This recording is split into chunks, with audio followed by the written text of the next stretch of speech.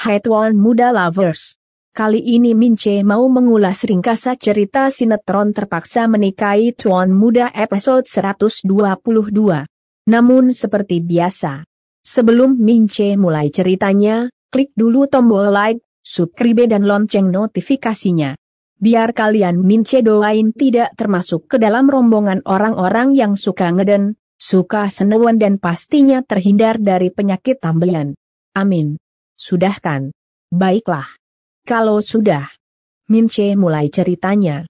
Di episode kali ini diceritakan jika Kinanti yang prihatin sama Marisa datang menemui Marisa dan tanya.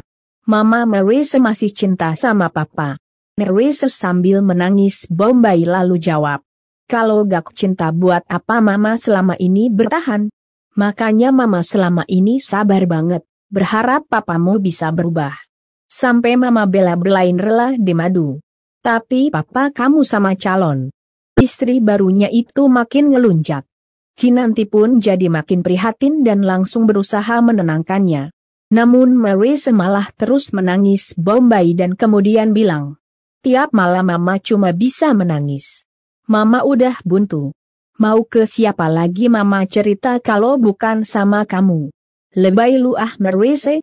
Cerita aja sono ama tukang cilok. Siapa tahu abis cerita lu dikasih makan cilok gerong. Iya kan guys? Sementara itu Babang Gondrong Abhimana yang sudah sampai kantor dan masih kepikiran soal anak pancingan lalu membuka laptopnya dan mencari artikel tentang anak pancingan. Tak lama Babang Gondrong pun membaca salah satu artikel hamil setelah satu bulan mengadopsi anak pancingan. Anak pancingan benar-benar membawa berkah buat keluarga. Babang Gondrong pun jadi mikir dan bergumam. Astaga! Saya gak bisa bayangin kalau jadi ambil anak pancingan. Para tuan muda lovers pasti bakalan marah banget. Ya iyalah Babang Gondrong. Mereka pasti marah.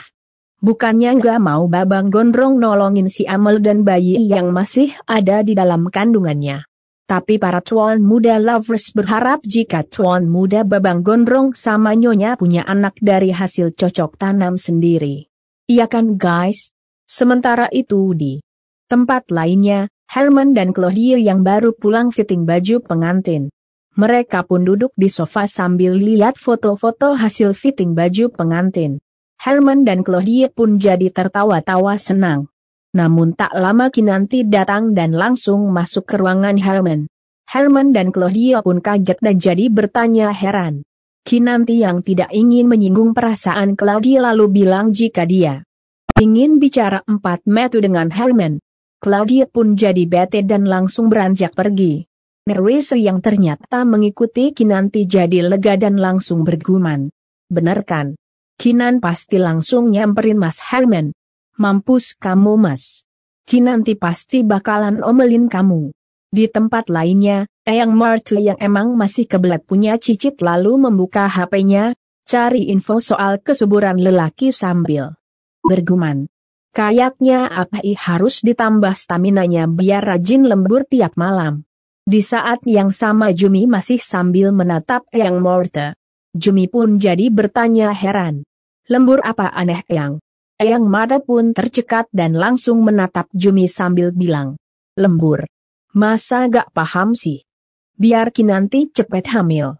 Jumi pun akhirnya ngerti dan bilang, oh, lembur ngadon. Eyang Marte tercekat dan langsung berkata ketus. Ngadon. Emang kamu pikir bikin kue? Jumi malah nyengir dan bilang, kan cuma ibarat kata Eyang. Eyang Marte, tidak menjawab dan malah kembali melihat HP-nya. Eyang Marta pun jadi nyengir dan kembali menatap Jumi sambil bilang. Boleh juga nih dicobain. Pijat buat kesuburan lelaki. Jumi langsung menimpali. Wah, ide bagus tuh Eyang. Eyang Marta dan Jumi pun jadi saling tatap. Penuh rencana. Mince belum paham nih guys. Maksud Eyang Marta itu apa ya pijit kesuburan lelaki? Apa mungkin Eyang Marti mau nyuruh tuan muda Babang Gondrong buat mijitin torpedonya biar jadi subur dan manjur? Di tempat lainnya, Kinanti sudah duduk di hadapan Herman sambil menatap tajam papanya yang doyan kawin itu. Herman pun jadi bertanya heran. Ada apa Kinan? Kamu kok ngeliatin papa begitu? Sih. Kinanti pun lalu tanya. Apa benar papa biarin mama Marisa pergi dari rumah? Herman kaget dan jadi bertanya heran. Kamu ketemu sama mama Marisa? Dia ngadu sama kamu ya? Kinanti pun lalu alasan, aku gak sengaja ketemu mama Marisa di kafe. Dia kelihatan sedih. Setelah aku tanya, ternyata dia sudah nggak tinggal di rumah. Kenapa sih papa tega biarin mama Marisa pergi dari rumah? Herman pun jadi gede karena disalahin sama Kinanti. Herman yang gak mau disalahin sama Kinanti lalu kasih penjelasan. Mama kamu sendiri yang minta pergi. Papa gak pernah usir dia.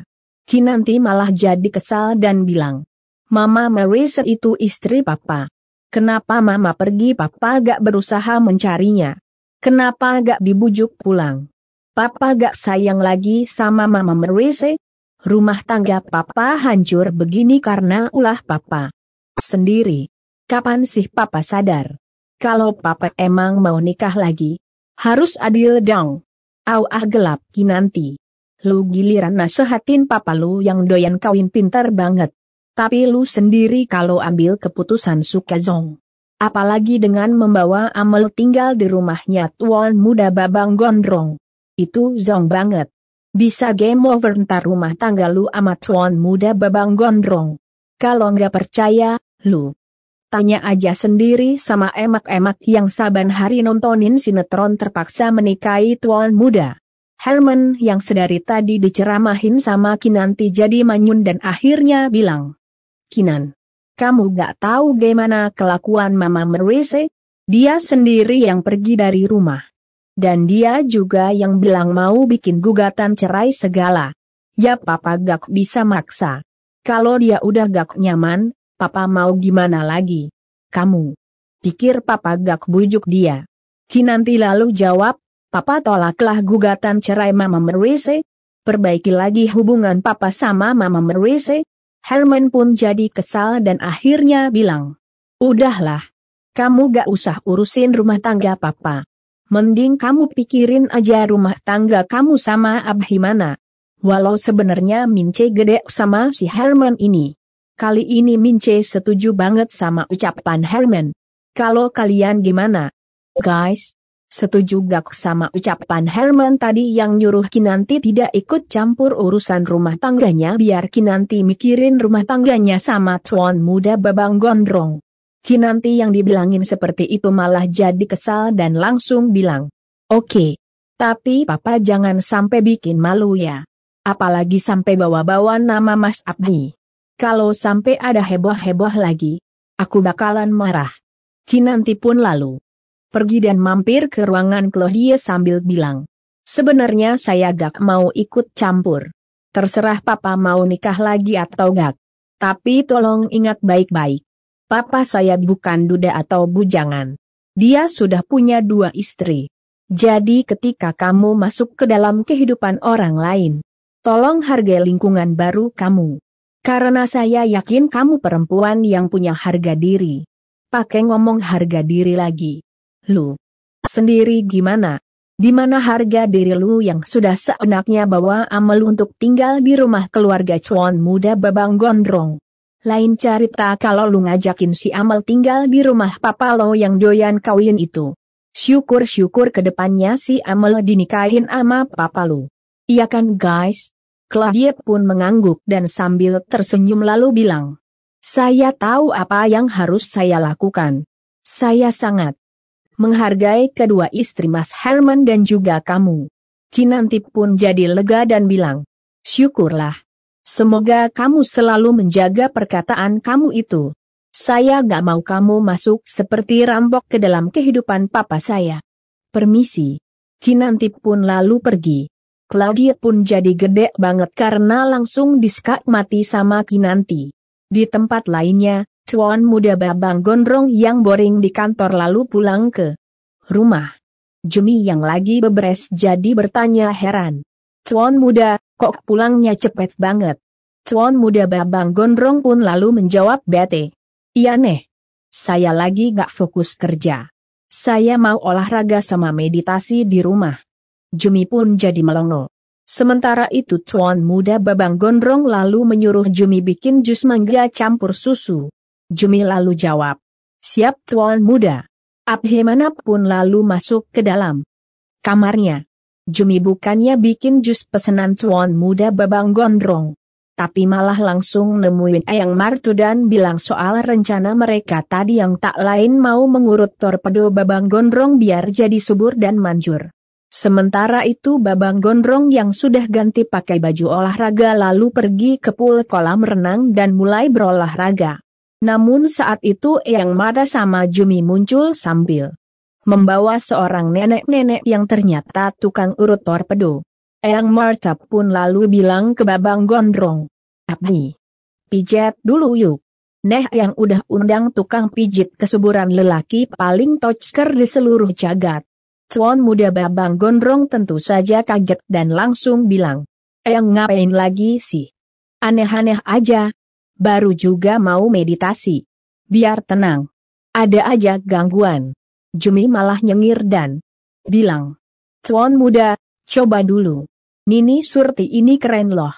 Katanya ada pasiennya yang baru pijit sebulan. Langsung gol.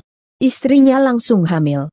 Babang Gondrong pun lalu menatap tukang urut sambil bergidik ngeri. Sementara itu Eyang Mar selalu memaksa Babang Gondrong buat ke kamar, biar dipijit dulu torpedonya sama Nini Surti. Nah loh.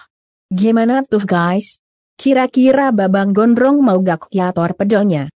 diurut sama Nini Surti. Jadi penasaran Mince. Babang Gondrong ternyata nggak mau diurut dan langsung kabur.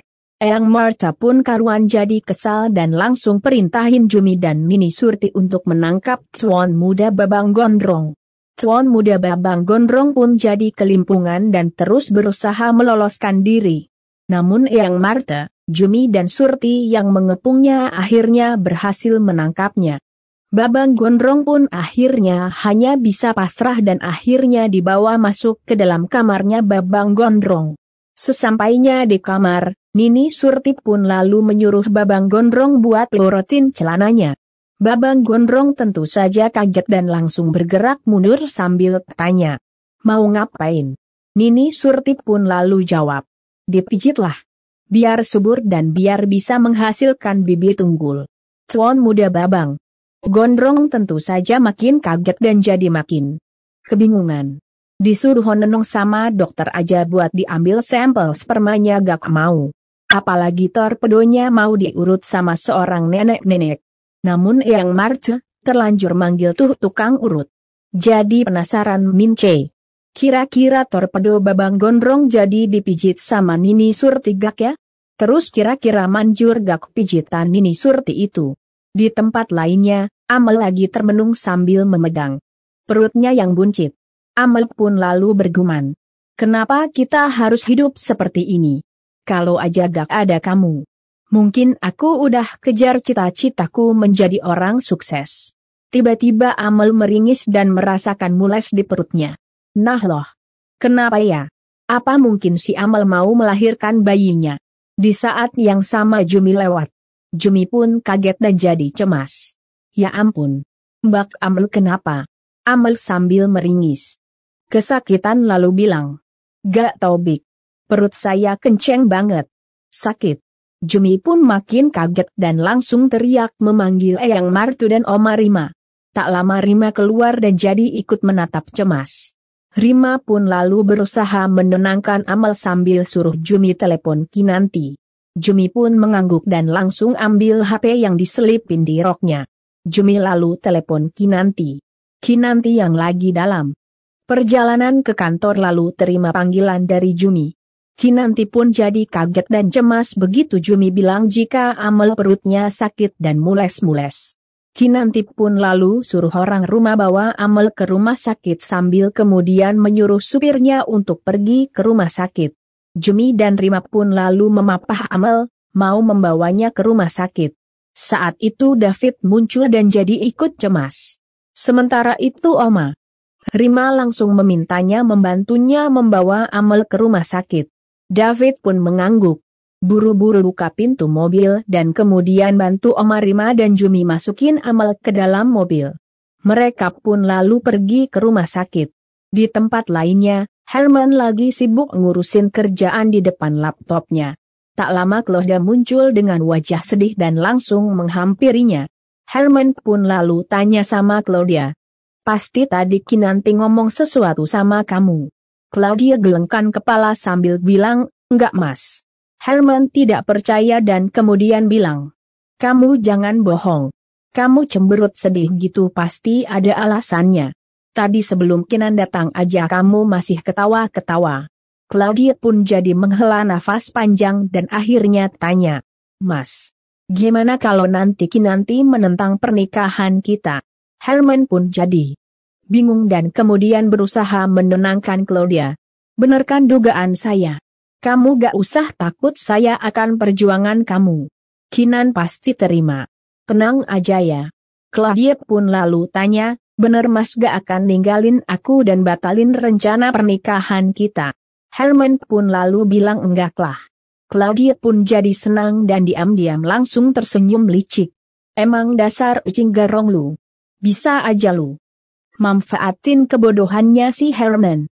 Sementara itu David, Jumi dan Rima yang membawa Amel akhirnya sampai di rumah sakit dan mau membawa Amel yang kini sudah duduk di kursi roda ke ruang IGD namun Amel yang tadi kesakitan tiba-tiba terlihat jadi tenang. Amel pun lalu bilang ke Oma, saya sudah gak apa-apa. Kram perut saya sudah reda. Maaf tadi saya jadi ngerepotin. Kita pulang aja ya. Rima yang masih sangat mencemaskan Amel lalu jawab. Jangan. Kita nunggu Kinan dulu. Dia tadi bilang mau nyusul. Sekalian periksa aja yuk. Belum sempat Amel jawab, Kinanti tiba-tiba muncul dan langsung menghampiri sambil tanya ke Amel. Kamu kenapa? Amel dengan wajah sendu lalu jawab. Maaf bak. Saya sudah bikin semua cemas. Tapi tadi perut saya emang kram. Sakit banget. Tapi sekarang udah nggak apa-apa. Kita pulang aja ya mbak. Namun Kinanti yang mencemaskan keadaan Amel menolak dan bilang, kita periksa aja dulu. Biar kita juga tahu kondisi kandungan kamu. Kinanti pun lalu menatap Oma sambil bilang, Oma, temenin Kinan bawa Amel ke dokter ya. Oma Rima pun mengangguk sambil kemudian suruh Jumi dan David menunggu. Fit, kamu tunggu di sini sama Jumi ya. David pun mengangguk. Kinanti dan Oma Rima pun lalu mendorong kursi roda Amel. Jumi pun jadi girang banget karena ditinggal berduaan sama David. Di tempat lainnya Care ini mau belanja bulanan. Care ini pakai tas branded miliknya Marise. Care ini pun lalu mencari-cari yang mau dibelinya sambil bergumam. Demi memperbaiki rumah tanggaku sama Mas Herman, aku rela deh capek belanja bulanan begini. Di saat yang sama Marise muncul dan jadi geram setengah. Eden melihat tas branded miliknya dipakai sama Karina. Saat itu juga Maris langsung melabrak Karina sambil bilang, Heh, gak tahu diri banget kamu ya pakai barang orang. Karina, tentu saja kaget dan jadi cemas. Karina yang tidak ingin membuat Maris jadi makin edan lalu pura-pura heran sama Karina. Mbak, kok di sini? Namun Maris yang emang lagi geram setengah edan malah bilang, Gak usah tanya kenapa. Aku ada di sini. Cepat serahkan tas brandedku itu. Care ini pun langsung nolak sambil bilang. Kalau aku lepas, barang-barangku mau ditaruh di mana? Mary pun jadi gede, ambil plastik yang biasa roll buat tempat buat dan memberikannya ke Karen sambil bilang. Neh plastik. Lebih cocok buat kamu. Sini kembaliin tasku. Mary pun lalu mengambil paksa tas dari tangan Karina. Mereka pun jadi tarik-tarikan. Tas. Karina pun jadi kesal dan langsung neriakin Mary sejambret. Semua orang yang lagi belanja langsung melihat ke arah Marise. Marise tentu saja kaget dan panik. Kasian banget ya nasib si Marise. Udah tasnya dipakai sama si Karina. Eh diteriakin jambret sama Karina. Kira-kira gimana ya nasib si Marise? Apa mungkin dia jadi dikejar masa terus dijebloskan ke kantor polisi? Entahlah. Kita berdoa aja. Sesuai agama dan kepercayaan masing-masing. Sementara itu Kinanti, Oma Rima dan Amal sudah sampai di ruang dokter. Dokter pun langsung memeriksa kandungan Amal. Kinanti dan Oma Rima menunggu cemas. Tak lama dokter pun selesai periksa. Kinanti pun langsung tanya keadaan Amal dan bayi yang dikandungnya. Dokter pun lalu bilang, tidak ada masalah kok. Kondisi ibu dan janinnya masih sehat. Kinanti dan Oma Rima pun jadi lega dan langsung mengucap syukur. Di tempat lainnya, Jumi yang masih berduaan dengan David lalu tiba-tiba memegang perutnya sambil melengguh kesakitan kayak orang yang lagi hamil. Ehm, mau modusin si David lagi kayaknya neh kerupuk jengkol. Benar saja. David pun jadi cemas dan langsung menatap Jumi. Kenapa Bik? Perutnya sakit juga. Jumi yang emang lagi modusin David sambil terus meringis kesakitan lalu bilang, Ah enggak kok my handsome. Jumi cuma lagi bayangin aja kalau pas lagi hamil nanti. Pasti bahagia banget rasanya periksa kandungan sambil ditemenin suami kayak gini. David pun kaget dan langsung menjauh dari Jumi. Jumi pun jadi heran dan langsung teriak memanggil David. My handsome mau ke mana? Sini duduk lagi samping Jumi. David yang tidak ingin dianggap sebagai suaminya Jumi Karwan jadi panik sendiri dan maaf ya guys, dengan sangat terpaksa Mince akhiri dulu cerita sampai di sini. Gimana? Makin seru kan ceritanya? Menurut kalian torpedo kalian jadi dipijit gak sama Nini Surti? Terus kira-kira pijitan Nini Surti itu manjur gak? Mince tunggu jawabannya di kolom komentar. Dan buat yang baru gabung, Mince ingetin sekali lagi. Jangan lupa klik like, subscribe dan lonceng notifikasinya.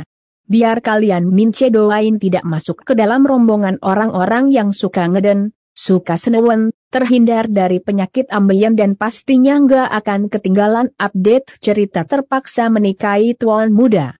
Bye!